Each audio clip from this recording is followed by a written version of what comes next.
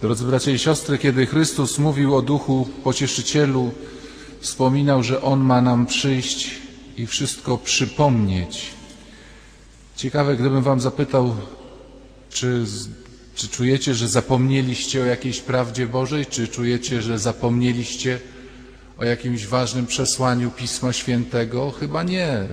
Pamiętamy sakramenty, pamiętamy yy, przynajmniej w ogólnym zarysie dzieje starego ludu Starego Przymierza. Wiemy, że nie wolno kraść, cudzołożyć. No intelektem chyba żeśmy o tym nie zapomnieli. To o czym Duch Święty ma nam przypomnieć? O czym Duch Święty ma nam przypomnieć? On ma nam przypomnieć coś, co my pamiętamy, tylko ma nam przypomnieć na głębszym poziomie. Nie wiem, czy ja to dobrze zrozumiałem, bo nie jestem specjalistą od kopania studni, ale z tego, co mi opowiadano, studnie się kopie tak, że ten y, specjalista od kopania wchodzi w krąg, który leży na ziemi i kopie pod sobą dół i razem z tym kręgiem się zapada coraz niżej.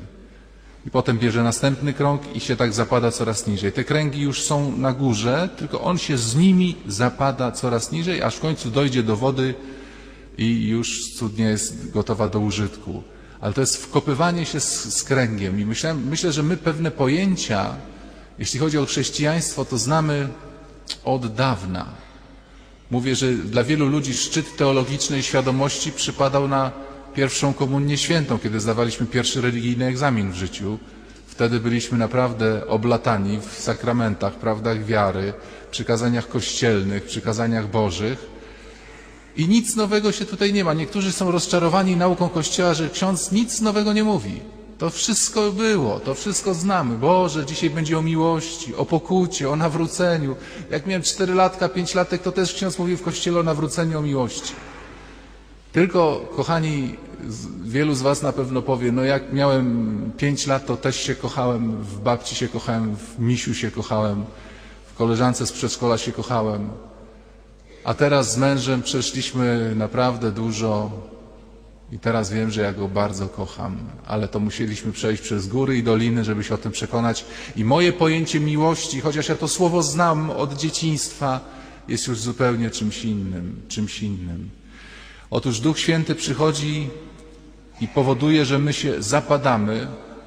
Proszę Państwa, to jest niemiłe uczucie, jeśli się pod kimś z Państwa kiedyś jakoś ziemia obsunęła, czy się podłoga zapadła. To jest niemiłe uczucie, kiedy się leci w dół. Ale właśnie na tym polega wzrastanie w zrozumieniu chrześcijaństwa, że Duch Święty nam, nas podkopuje to, co stanowi naszą jakąś pewność ludzką. Wtedy się czujemy naprawdę niepewnie. Kiedy ktoś, kto był wielkim moim przyjacielem, nagle dowiaduje się, że już od paru tygodni mnie zdradza, zaczyna działać na moją szkodę, czujemy się niepewnie. Kiedy żona się dowiaduje, że mąż ją zdradza, czy odwrotnie, Wtedy nam się ziemia zapada. Niektórzy ludzie księdza, życie mi się całe zapadło, a ja poleciałem w jakiś dół.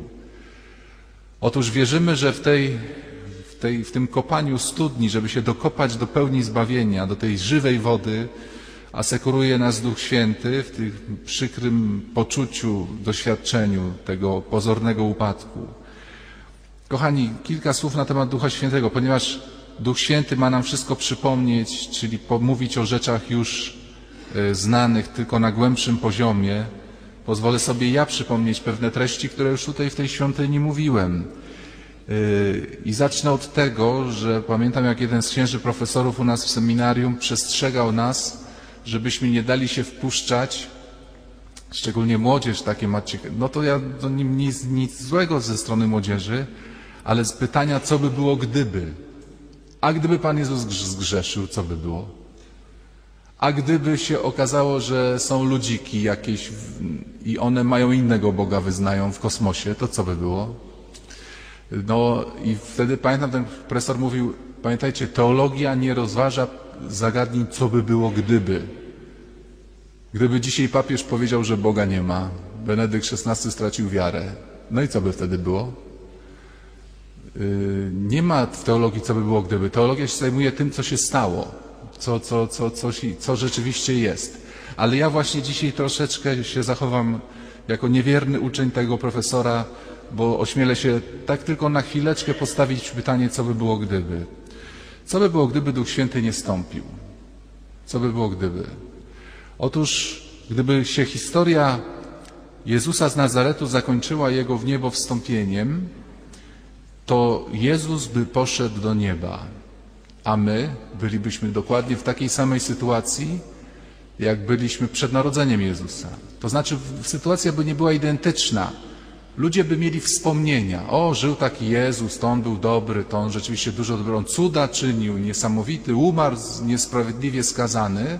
Niektórzy może by spisali jakieś myśli Pana Jezusa, jakieś strzępki. Pozostałby przykład. No, niektórzy by mówili, chciałbym być taki, jaki jest Pan Jezus. Na pewno ta prawda o Nim, jak prawda o wielu ludziach, e, jest, e, by się szybko zaczęła gmatwać. Proszę zwrócić uwagę, że my się nie możemy dogadać na temat życiorysów ludzi, którzy jeszcze żyją albo żyli niedawno. Pan Kapuściński, pan Wałęsa, no są to duże kontrowersje na temat ich życiorysów i historycy się sprzeczają. A co dopiero o człowieku sprzed paru tysięcy lat? Więc byłyby z Panem Jezusem kłopoty, ale on by został, yy, został tylko jako, jak, jako wspomnienie, powtarzam, może jakieś strzępy zapisków by się jego myśli za, za, za, zachowały, Natomiast chrześcijaństwo byłoby religią okrutną, bo rozbudzałoby nieprawdopodobne nadzieje na zbawienie, na niebo, bez szansy, bez szansy osiągnięcia tego. A dlaczego ja ośmielam się właśnie być nieposłusznym uczniem tamtego profesora? Dlatego, kochani, że wielu ludzi dzisiaj ma taką pobożność, katolików, że gdyby ktoś ogłosił, znowu takie robię, co by było gdyby, nie ma Ducha Świętego. Dzisiaj wszystko jest identycznie w Kościele, tylko nie ma Ducha Świętego. Wielu ludziom by się nic, a nic nie zmieniła ich pobożność. Proszę Państwa, zróbcie sobie taką psychoanalizę, że ja Wam mówię, proszę Państwa, papież wydał dekret, to oczywiście żart, żeby było jasne, nie ma Ducha Świętego i co się zmienia w Waszym życiu? Bo jak ja bym powiedział, mszy nie ma, ojej, to co ja będę w niedzielę robił? No, godzina do przodu jedna. Spowiadać się nie trzeba. No to wielu z was powiedziało, no to fajnie, ale nie, nie fajnie. No, to duże, duża zmiana. Ludzie mówili, duża zmiana. Pacierza nie trzeba odmawiać. No śpiochy powiedziały, niech żyje papież. Ale duża zmiana. A ja, jakbym powiedział, Ducha Świętego nie ma, proszę, proszę wyłączyć go w ogóle ze swojego życia. Wielu powiedział, no i co? I nic. Maryja na szczęście jest, Jezus jest, msza jest, pokuta jest, Wielki Post jest, Boże Ciało jest. Co by się w waszym życiu zmieniło, gdyby się okazało, że Ducha Świętego nie ma? A on jest bardzo ważny. Właśnie to jest chrześcijaństwo i, i dlatego wielu ludzi naprawdę się stara praktykować. Wychodzicie w niedzielę do kościoła, widzę to na własne oczy. E, ale żyją ciągle, proszę księdza, tego Boga w ogóle nie doświadczą żyją w ogóle w przekonaniu, to wszystko jest takie mechaniczne, sztuczne. No nieraz coś ksiądz powie fajnego na kazaniu, nieraz da jakąś radę, ale generalnie chrześcijaństwo to jest taki jazda furmanką z kulawym koniem. Przepraszam, jako wielbiciel przykładów. To jest tak, jakby ktoś powiedział ci, chcesz zupę? Chętnie. Błyskawiczną? Daj błyskawiczną. I dał ci zupę w proszku, i tam w tej zupie są zazwyczaj taki zasuszony koperek, zasuszony jakiś listek, zasuszony kartofel. Jak... I byśmy powiedzieli, no słaba coś ta zupa, tak, zapycham się. Stary, to trzeba wrzątkiem rozcieńczyć. Duch Święty jest to, przepraszam, jak on wstępuje na początku, to wcale nie jest miło, to nie jest jak prysznic z jakimś żelem podprysznicowym, tylko to jest dla człowieka, który myśli po ludzku, jest zasuszony w swojej wierze, to Duch Święty jest jak wrzątek. To też kiedyś Państwu opowiadałem, ale powiedziałem, że dzisiaj homilia z powtórkami. W stanie wojennym jeden ksiądz chodził po kolędzie i trafił do przemiłej babci. No sympatycznie się z babcią rozmawiało, babcia też wyczuła, że zaiskrzyło z księdzem, tak na wymiarze duszpasterskim oczywiście, i mówi, a może by się ksiądz napił herbaty? A on mówi, proszę panią, tak, bo się tak zbratali. Proszę, tak powiem szczerze, kawy bym się chętnie napił. Oj, proszę księdza, u mnie to kawy nie ma w domu, stan wojenny, nie ma u mnie kawy. Ale wie pani co? Ja tu parę klatek wcześniej, tak brzmi jakby on pozo chodził, parę klatek wcześniej dostałem kawę od, od, to może pani ją zaparzy. A świetnie, jak ksiądz ma kawę, to ja chętnie zaparzę. No i babcia poszła do kuchni i przychodzi z dwoma szklankami. Na dnie szklanek leżą niezmielone ziarenka kawy, zalane goto, gotowaną wodą. No i ten ksiądz nie chciał jej robić przykrości i piją tą kawę. Mówi, mocna, uh, szatan. A ona mówi, może mleczka doleje. A on mówi, nie, to już wypije czarną. I nie, nie dość, że nie pił, że domyślacie się Państwo, że on pił wodę z jakimiś tam pyłkami z kawy, to jeszcze mówi, moja kawa, wszystko do śmieci pójdzie, a tak na nią liczyłem. Proszę Państwa, wielu ludzi pije chrześcijaństwo jak kawę niezmieloną. Przepraszam za porównanie, ale Chrystus został zmielony na krzyżu. Ale żebyś Ty go przyjął, Ty też musisz być zmielony. Rozgrzany wrzątkiem i zmielony. I wtedy dopiero chrześcijaństwo zacznie smakować. Przecież list do Rzymian świętego Pawła mówi: Miłość Boża rozlana jest w sercach naszych przez Ducha Świętego. Jeszcze raz Wam stawiam pytanie: co Duch Święty robi w Twoim życiu? Ja nie twierdzę, że nic, ale Państwo zadajcie sobie pytanie, bo miłość jest rozlana przez Ducha Świętego. I, i powtarzam, przeczytajmy opis zesłania Ducha Świętego. Nie było, że apostołowie byli zgromadzeni w wieczerniku, powiał ciepły wiaterek, takim się miło na buzi zrobiło, włosy im rozwiał. Tylko ten wiatr huknął w dom. Proszę Państwa, godzinę temu słyszeliśmy, jak huczy deszcz. Jak potrafi huczyć, a jak dom potrafi trzeszczeć od wiatru, Duch Święty uderzył w ten dom, jakby policzkiem chciał nas obudzić. Uderza w dom. Ale przez to przychodzi miłość Boża. Dlatego wielu ludzi pije kawę niezmieloną, bawi się pigułkami w chorobie, żeby się pocieszyć, nie wie, że to się łyka. Czy, czy jedzą zupę błyskawiczną bez wody i mówią, ale to tak jest średnia ta zupa taka. Może śmietany dodam. Musimy być zmieleni. I wtedy Duch Święty to wszystko przenika, ożywia i ta zupa naprawdę przemysł spożywczy robi cudowne rzeczy, że z jakiegoś proszku robi się prawdziwe pire. Ja jeszcze, jeszcze jeden przykład Państwu dam. No w zasadzie to jest to samo. Czytałem kiedyś o pewnym plemieniu, które się dowiedziało, że w ziemi są minerały magnez, wapń i to wszystko jest potrzebne do życia człowieka, że człowiek zdrowy musi mieć w sobie minerały. I starszyzna plemienia wydała rozkaz wszystkim obywatelom plemiennym, że od dzisiaj mają zjadać łyżkę ziemi posoloną łupkami ze skał, żeby te minerały były. I biedacy ci tubylcy jedli tą ziemię, nie wiedząc, że organizm nie przyswoi sobie żadnych minerałów, które rzeczywiście są w glebie, ale z ziemi sobie nie przyswoi że tym cudownym pośrednikiem pomiędzy glebą a organizmem ludzkim są rośliny. To proszę zwrócić uwagę na zupełną przypadkowość, że dzisiaj mamy zielone świątki. Duch Święty jest rośliną, która bierze z Chrystusa, wchodzi w nas i my mamy te wszystkie skarby Boże, życie nadprzyrodzone, miłość Bożą przez Ducha Świętego.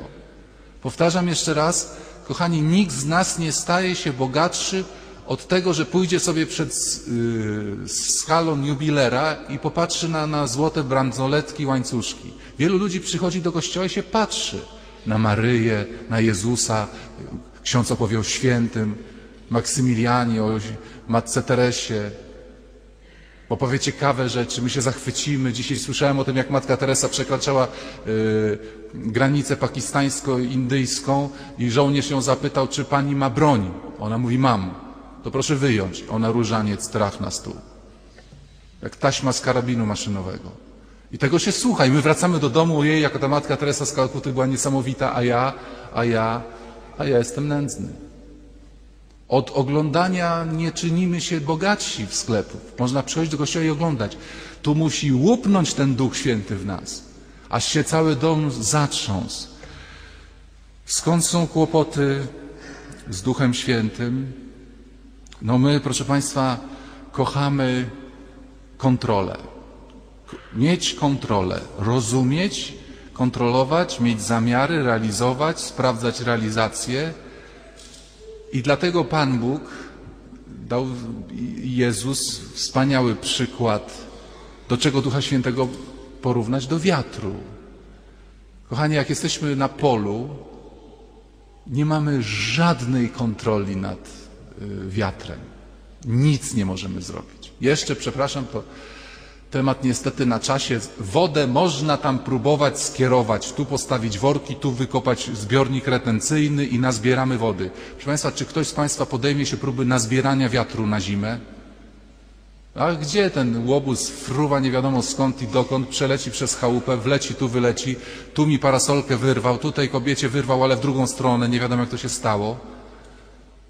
Spada nagle, nie wiadomo skąd, niewidzialny. Jeszcze deszcz to przewidzimy. O, chmura idzie, będzie deszcz. Wiatru nie przewidzisz. Nagle się zerwał wiatr, nagle trzasnęło drzwiami, nagle okno się zamknęło.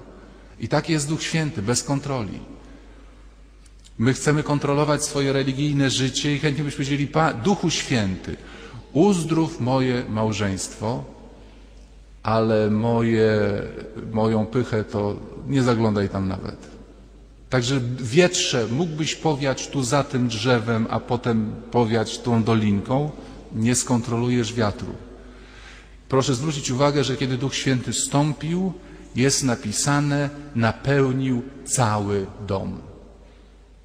To, co mnie zawsze uderza, kiedy ludzie przychodzą opowiadać o swoich problemach, że ludzie opowiadają bardzo wycinkowo. Najczęściej, kiedy jest problem małżeński, o błędach współmałżonka, nieobecnego w tym momencie w tym pokoju, z którym rozmawiamy. Więc mój mąż jest taki, taki, taki, taki niedobry, mówi żona. Mąż y, mówi, ta moja żona jest taka, taka, taka niedobra. Y, to i to mnie nieszczęśliwie spotkało, natomiast całe strefy są pozakrywane. Tam, proszę księdza, księdza nie wpuszczę. Ja nieraz się czuję jak śledczy, właśnie węsząc, a czy ktoś czegoś nie ukrywa? I najczęściej ukrywa. I nie mówię, że robi to specjalnie. Nieraz my robimy odruchowo. My jesteśmy specjalistami w tematach, które są dla nas wygodne. Specjalisty, piękne mamy wypowiedzi, bo to żeśmy już wielokrotnie ludziom opowiadali o tych tematach, które są dla nas wygodne. Proszę Państwa, tragedia wielka z tą powodzią. Ludzie mówią, że, że no, tragedia ich dotknęła, że nie, nie, przychodzi pomoc. Czy Państwo słyszeliście jedną wypowiedź, żeby ktoś powiedział do kamery telewizyjnej, kurczę, pobudowałem się jak ten głupi na terenie zalewowym i mnie zalało. No, ale dureń, byłem pajac i teraz mam za swoje. Ja nie słyszałem takiej wypowiedzi i boję się, że nie usłyszę tej wypowiedzi, chociażbym człowieka uściskał. Nikt o tym nie mówi. A na pewno są tacy ludzie, którzy mieliby prawo i obowiązek tak powiedzieć. Głupi byłem, bo chciałem się tanio, ładno, ładnie pobudować, a rzeka płynęła 20 metrów. My, Duch Święty wchodzi albo na całość, Duch Święty nie jest specjalistą od retuszów. Duch Święty przeprowadza tylko remonty generalne, tylko remonty generalne. I dlatego wielu ludzi go nie chce. Zwróćcie uwagę, z Panem Jezusem, jak rozmawiali niektórzy faryzeusze, to od razu ustawiali temat pod siebie. O tym chcę z Tobą pogadać, o tym z Tobą nie będę rozmawiał, to mi powiedz, tego nie chcę słyszeć. Yy, Pana Jezusa sobie niektórzy próbowali ustawić pod temat rozmowy. I tak jest do dzisiaj. Natomiast Pan Jezus oczywiście doskonale znał zamysły serc ludzkich i w te rozmowy nie wchodził, albo demaskował właśnie fałsz swoich rozmówców. Podobnie jest z Duchem Świętym, On przeprowadza tylko remonty generalne. I co w tych remontach generalnych odnawia? Duch odnowiciel odnawia przede wszystkim oblicze ziemi w znaczeniu człowieka, bo to jest rzecz najtrudniejsza do odnowienia, ale godna najpilniejszego odnowienia, bo jesteśmy oczkiem i perłą tej ziemi. Chciałbym zwrócić uwagę w wymiarze płci, Proszę zwrócić uwagę, jak Duch Święty stępuje na kobiety, na mężczyzn, co się z nimi dzieje. Kiedy Duch Święty stąpił na Maryję i wniósł w jej serce i łono największą tajemnicę świata, Boże wcielenie, Maryja się zachowuje jak kobieta. Potrzebuje rozmowy z kimś, kto ją zrozumie. Kobieta tego bardzo potrzebuje. Kobieta potrzebuje, kiedy nosi tajemnicę w swoim sercu, wejść w relację i Maryja potrzebuje rozmowy i anioł ją od razu podprowadza. Maryjo Elżbieta Cię zrozumie, bo jest w, no nie w identycznej, broń Boże, ale w troszkę podobnej sytuacji nieoczekiwanie zaszła w ciążę. Ty jesteś nieoczekiwanie w błogosławionym stanie, bardzo młodziutka, a Elżbieta się nieoczekiwanie znalazła w błogosławionym stanie bardzo stara. I ona Cię zrozumie, bo obydwo, obydwie uczestniczycie w tym samym planie Bożym, chociaż w różnym stopniu oczywiście godności. I Maryja idzie do Elżbiety i to, co Państwu kiedyś mówiłem, piękna to jest rozmowa. Elżbieta, mówi Pismo Święte, napełniona Duchem Świętym, wydaje okrzyk. A skądże mi to, że matka mojego Pana przychodzi do mnie? Wy kobiety jesteście specjalistkami od uczuć, emocji i od zachwytu. Boże, jak ślicznie wyglądasz, jakie masz fantastyczne kwiaty, gdzie szyłaś ten, tę sukienkę? My panowie nie krzyczymy, Włodek, jaką masz kurtkę, Boże.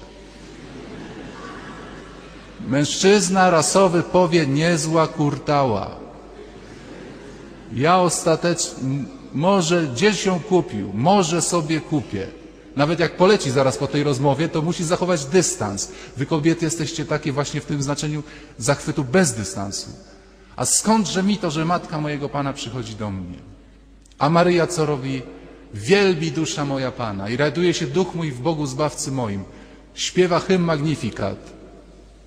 W Pismo Święte wprawdzie nie mówi, że ona to śpiewała na jakąś melodię, ale to jest hymn. Pamiętam, jak ja jako dziecko zawsze byłem spokojny, kiedy sobie leżałem w łóżku, czy bawiłem się z klockami, a moja mama w kuchni śpiewała. Tata nie śpiewał, tata gwizdał nieraz.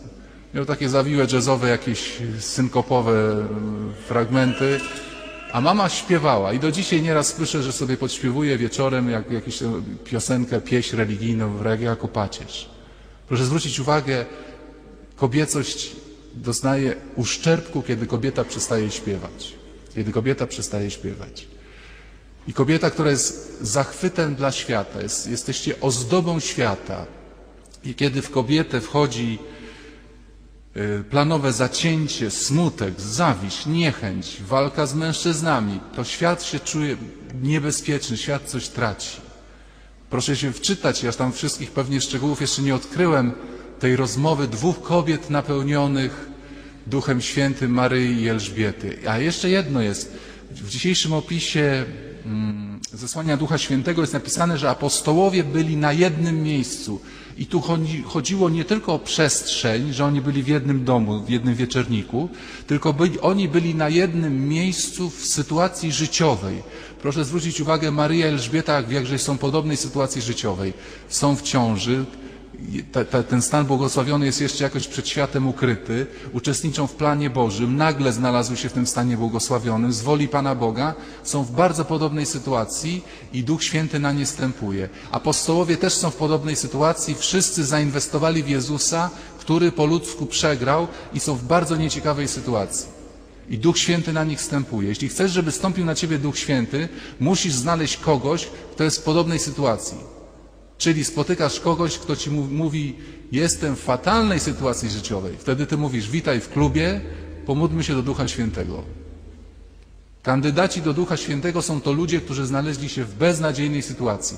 Dopóki masz jeszcze pomysł jakiś, swój, swój własny na życie, dopóki jeszcze coś kombinujesz, dopóki jeszcze masz plan, jak tu się według swojego pomysłu zrealizować, Duch Święty nie stąpi. Duch Święty wchodzi do domu, który jest pusty który jest pusty. A my ciągle mamy jeszcze swoje sejfy, zakamarki pod podłogą na czarną godzinę, parę pomysłów dla siebie. Jeszcze przyjrzyjmy się, żeby było uczciwie mężczyznom. To jest mój ulubiony fragment dziejów apostolskich. To jest zaraz ten następny fragment tego, który był dziś czytany. Nie, nie był czytany ten, o którym będę mówił, ale Państwo go pamiętacie.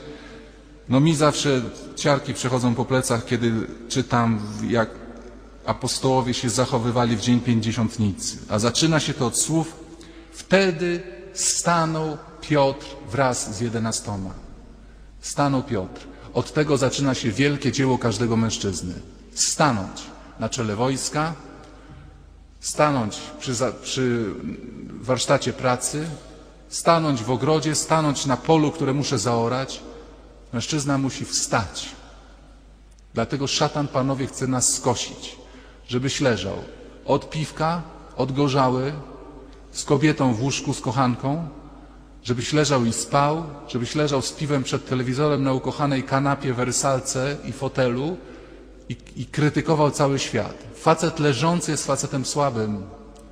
O co chodzi w boksie? Proszę zwrócić uwagę, jak to żałośnie wyglądało, jak się przez wczoraj na spódzian sam położył. No.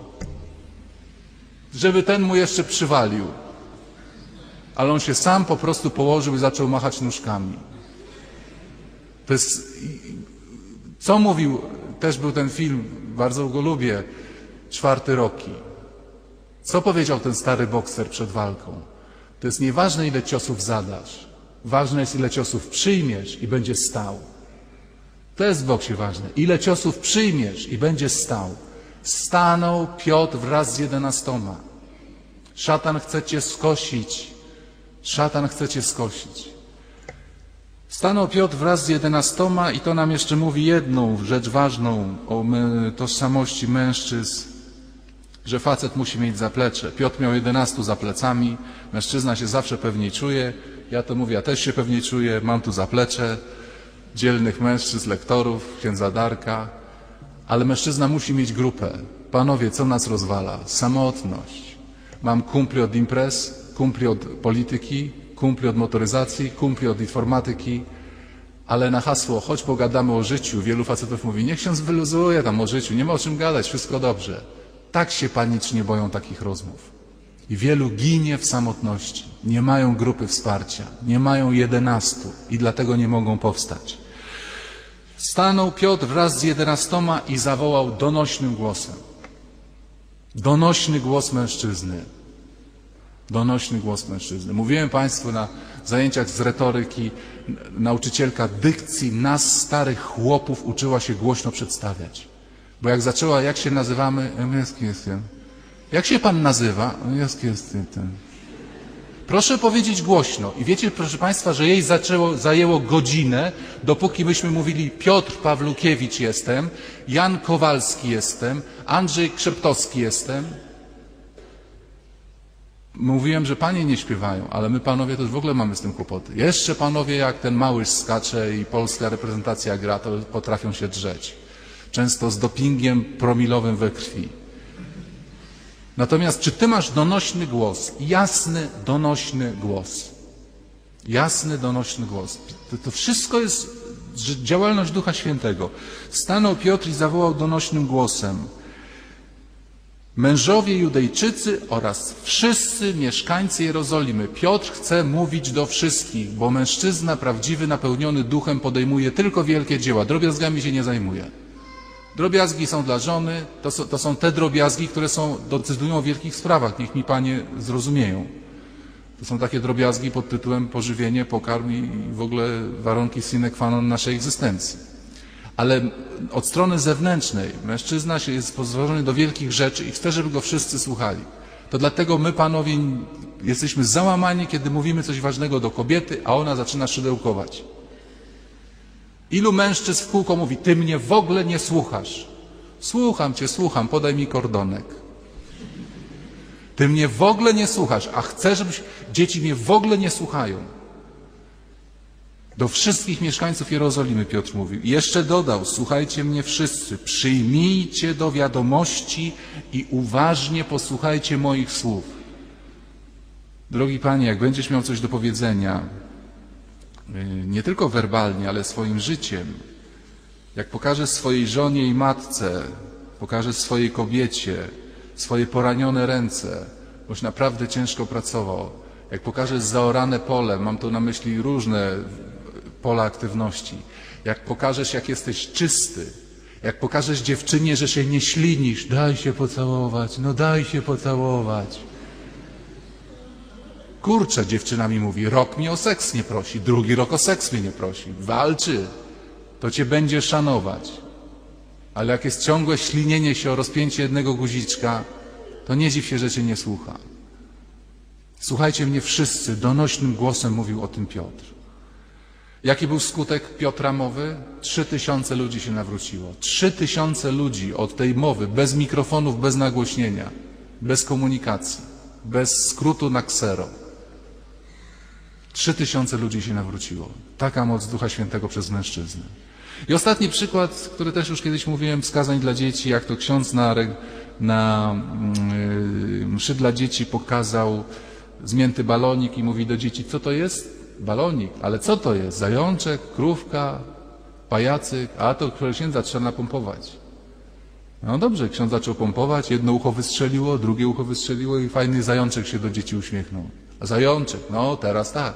Proszę zwrócić uwagę na mechanizm balonika. Trzeba niewidzialnego powietrza, niewidzialnego powietrza, żeby widzialna powłoka stała się rozpoznawalna. Niewidzialne, widzialne, rozpoznawalne. Jak nie ma w tobie Ducha Świętego, jesteś jak zmięty balonik. Nie wiadomo, czy to jesteś kobieta, mężczyzna, czy ty w ogóle człowiek jesteś, leżysz zas, zaśnie, z, z, z, usypiony, usypiony snem, u, zanurzony we śnie. I trzeba Ducha Świętego, który napełnia. On wypełnia nie, nie naszą jakąś powłokę zewnętrzną, tylko napełnia nasze myśli, które stają się wyraziste, jasne, nasze słowa, nasze postawy, nasze czyny. Dlatego Duch Święty, zachęcam Państwa, jest wielkie ryzyko, ale ktoś niech może już powie, mam dość tego właśnie jedzenia tej ziemi z kamykami, licząc, że te duchowe minerały przejdą w moją duszę. Zaczynam się modlić do Ducha Świętego, żeby mnie ten nurt porwał, żeby mnie ten ogień spalił, żeby ten wiatr huknął i żeby mnie wypełnił całego, całego, bez żadnego sektorów dla Ducha Świętego czy sektorów bez Ducha Świętego. Kochani, z całego serca namawiam Was i siebie w tę niedzielę Ducha Świętego. Zasmakuj Boga, ale w Duchu Świętym. Zasmakuj siebie samego. Wielu ludziom moje ja strasznie nie smakuje. Zasmakuj siebie samego, ale w Duchu Świętym. Bądź jak napompowany balonik. Niech Twoje myśli, pragnienia, ocena samego siebie będzie wypełniona Duchem Świętym, a to wszystko ożyje. On jest Duchem ożywiającym. Powstańmy.